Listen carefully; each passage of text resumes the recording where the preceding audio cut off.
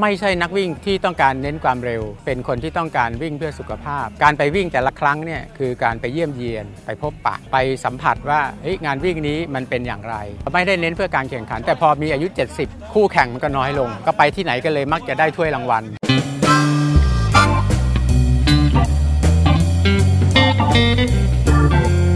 พอเหมาะกับวัยนะ ในวัย 73 ยังไปวิ่ง 10K ในสนามต่างๆ แล้วก็ปีหนึ่งก็จะลงวิ่งมาราธอน 42 กิโลเนี่ยที่จอมบึงปีละ 1 ครั้ง ก็เป็นการวิ่งเพื่อตรวจสอบร่างกายด้วย ว่ายังไหวอยู่หรือเปล่าหัวใจเรายังเป็นยังไง พอเราผ่านมันไปได้ เราก็รู้สึกมันมีความหวังขึ้น การวิ่งเป็นเหมือนการตรวจสอบสุขภาพทางกายของเราตอนนี้ยังไม่ปรากฏที่พูดคำนี้เพราะว่าเอ่อเราต้องไม่ประมาทกับมัน เริ่มวิ่งมาแต่เด็กแล้วครับบ้านอยู่ในชนบทที่จำเป็นต้องใช้การเดิน การวิ่ง การปีนป่ายภูเขา เวลาเดินทาง แล้วก็พอโตขึ้นเรียนหนังสือ ก็เริ่มเล่นกีฬาฟุตบอล ก็วิ่ง จากนั้นไปเรียนมหาวิทยาลัยก็เป็นนักกีฬาทั้งฟุตบอล แล้วก็นักกรีฑานักวิ่ง ก็ออกกำลังกายมาตลอด พอจบไปทำงานเป็นครู ก็นำเด็กๆ เล่นกีฬา ก็เลยต้องเล่นมาตลอดวิ่งด้วยอะไรด้วย แล้วจากนั้นก็เริ่มจัดงานวิ่งที่จอมบึง 33 ปีที่แล้วคือปี 2529 แล้วก็จัดต่อเนื่องมาจนถึงปัจจุบันก็เป็นงานวิ่งที่มีคนไปร่วมปีละนับหมื่นๆคน การวิ่งเอ่อจริงแล้วเหมาะสำหรับคนทุกเพศทุกวัย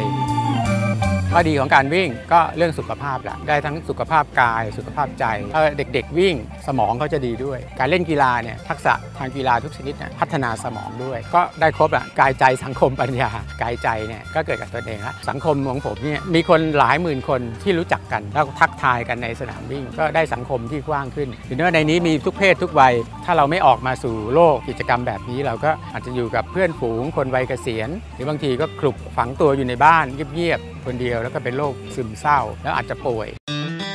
ง่ายถ้าวิ่งทุกคนเป็นธรรมชาติเดินได้ เพิ่มความเร็วขึ้นนิดหนึ่งก็กลายเป็นจ็อกวิ่งเหยาะใส่ความเร็วลงไปอีกหน่อย ก็กลายเป็นการวิ่งคือ running มันทำได้ง่ายคนทุกเพศทุกวัยก็ก็ทำได้หมด ถ้าพูดถึงเรื่องเทคนิคมันก็ไม่มากไม่ต้องฝึกฝนเลยมันเป็นธรรมชาติอยู่แล้ว แต่ถ้าจะให้ดีอยากวิ่งให้เร็วขึ้น ให้สนุกขึ้น ไม่บาดเจ็บก็ไปฝึกทักษะประหยัดเสื้อผ้าอาภรณ์อย่างงานนี้ 200 บาท เสื้อตัวนี้น่าจะเก็บไปใช้ได้อีกเป็น 10 ปี ก็สามารถหมุนเวียนใช้ ถ้าไม่ฟุ่มเฟือยกางเกงตัว 1 2 ตัวก็พอแล้วไปรองเท้าสักคู่หนึ่งหรือ 2 คู่เอาไว้สลับสับเปลี่ยนประโยชน์สูงประหยัดสุดหาได้ที่วิ่ง ถ้าไม่ฟุ่มเฟือย ถ้ารู้จักพอเพียง